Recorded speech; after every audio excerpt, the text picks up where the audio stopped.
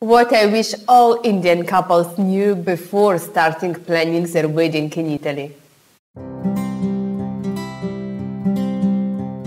Hello everyone and welcome back to my channel. I'm Svetlana from Best Indian Weddings Italy, the first and only wedding planning agency in Italy specialized in Indian weddings.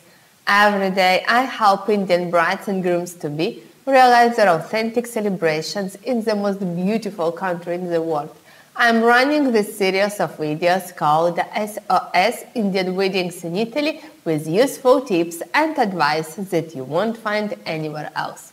So if you are looking to host your celebrations in Italy, then please subscribe to my channel, the bell to always keep updated with a new video every week.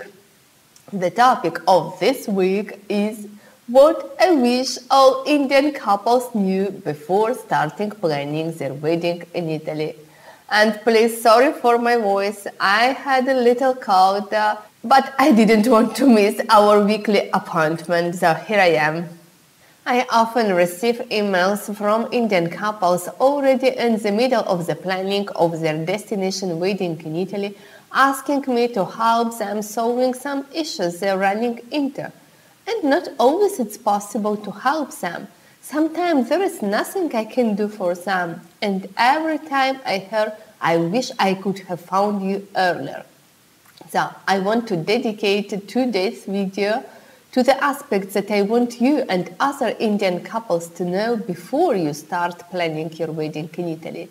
Because knowing these aspects in advance can truly save you from making some mistakes that can ruin your celebrations.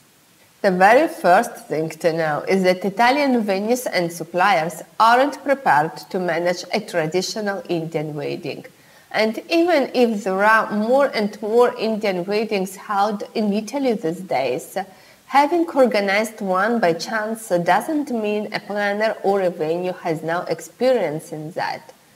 And being Indian weddings a trend in Italy, everyone wants to have one in their portfolio to have the possibility to attract other Indian couples and they are all willing to say yes to anything you ask them to make you confirm with them.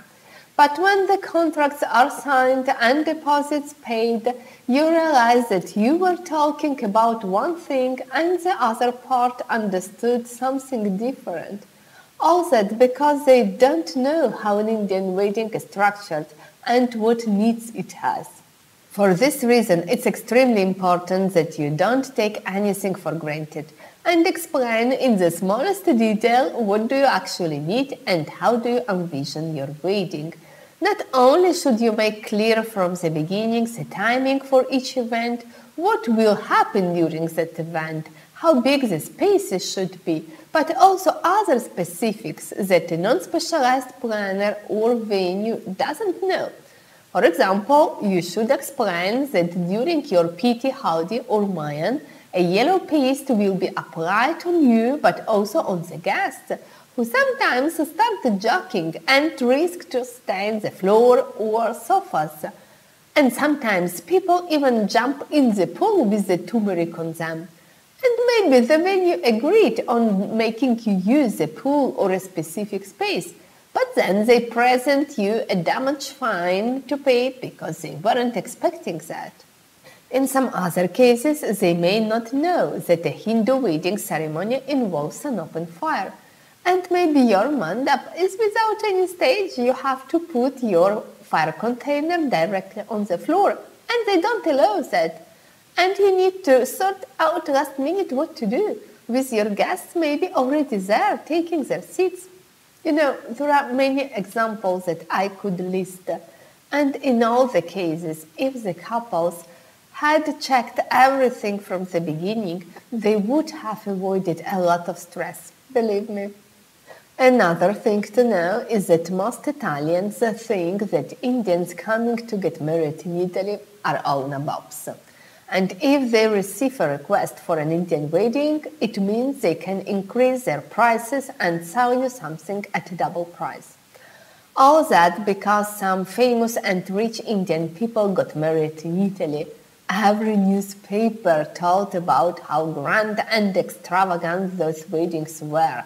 and especially how much they spent.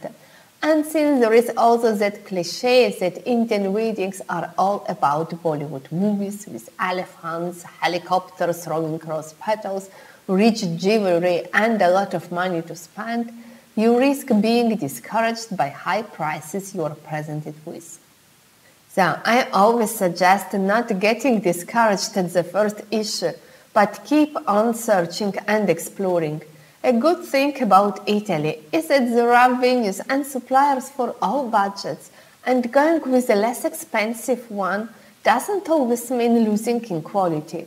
I know people from abroad often think that it's quite easy to get scammed in Italy, and unfortunately, there are many cases of that.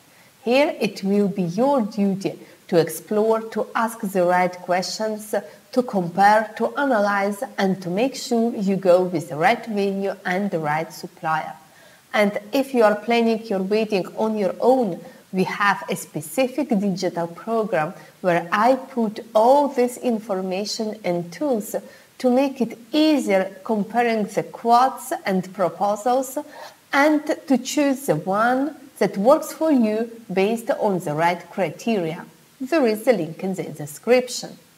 Another thing to know in advance is the wedding food in Italy costs more than in the UK and some other countries. I've heard many times from the couples contacting me that the food in the UK cost less and that they were expecting to pay less for the food. What can we do with that? Nothing. If you want to get married in Italy, you have to deal with that. Italians are very proud of their cuisine, and there is a valid reason for that. Not only is the Italian cuisine famous and known all around the world, but it's also fresh, with the first quality ingredients, often handmade, especially for weddings, and also beautifully presented. All that has its cost. So it's just important to know that in advance and consider a specific budget for the food part of your wedding. Actually, another very important thing to consider before starting your planning is that you're getting married in a different country where not only the prices are different but also rules are different. Wedding vendors are used to work in a different way under different conditions and you may not expect all that. So it's important that you have an open mind while approaching the planning of your destination wedding in Italy and not get frustrated. Otherwise, it would make sense for you to get married back home rather than abroad. Then you must also know that it could be difficult to sort out all the traditional elements in order to have an authentic Indian celebration, and you may need to bring some suppliers or some decor from home to Italy.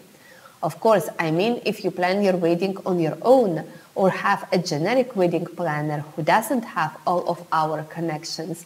As with Best Indian Weddings Italy, you won't need to worry about a thing, as we have everything you would potentially need for your event. Anyway, just consider that it's always better to put it into account. As you see, these aspects may seem obvious to someone, but when it comes to planning a wedding abroad, it's always better to start being prepared to many different situations rather than taking things for granted and thinking that everything will go as planned. This way you can evaluate your possibilities from the beginning and maybe you could even decide that a destination wedding is not the right thing for you. And you are also prepared to face some difficulties on your way, to not take things for granted and to uh, clearly express your needs always so that you don't become bridezilla or groomzilla thinking that no one understands you. That's all for today. Thank you for watching this video that I hope can help you with planning your amazing Indian wedding in Italy. If you haven't done it yet, subscribe to my channel, follow Best Indian Weddings Italy on Facebook and Instagram, comment in the posts and I will be happy to answer. See you next week.